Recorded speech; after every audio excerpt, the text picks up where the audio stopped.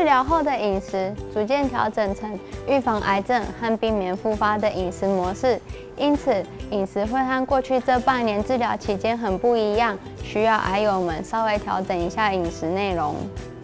治疗后，身体不再处于压力状态，身体需要的蛋白质量也随着急性副作用的减退而逐渐减少。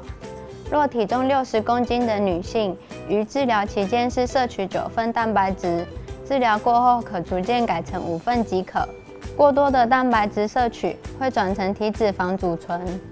不利于控制体重，也对肾脏造成负担。治疗后，身体逐渐恢复，可以开始吃比较多样化的食物。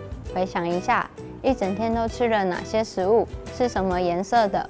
有人将食物分成红、黑、黄、紫、绿、白和褐色，也有人将食物分成五色。不论分成几色，最重要的是每天是否都有吃到各式各样的食物。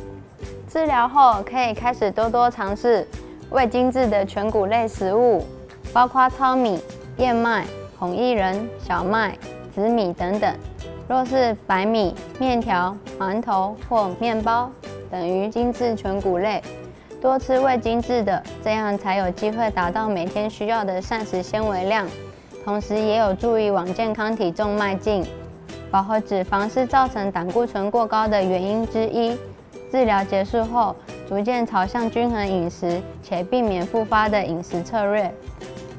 我们可以试着阅读包装食品的营养标示，判读热量是否来自于饱和脂肪。若的确是，则少吃一些。点心时间以蔬果或低热量的食物取代高脂的冰淇淋、炸薯条、甜甜圈等。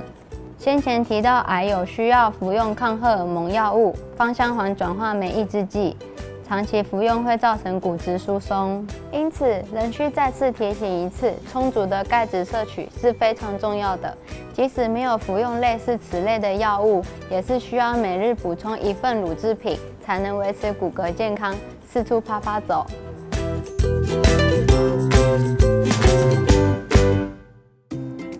将笔记：化疗过后，身体恢复，饮食要逐渐改成预防复发的饮食策略。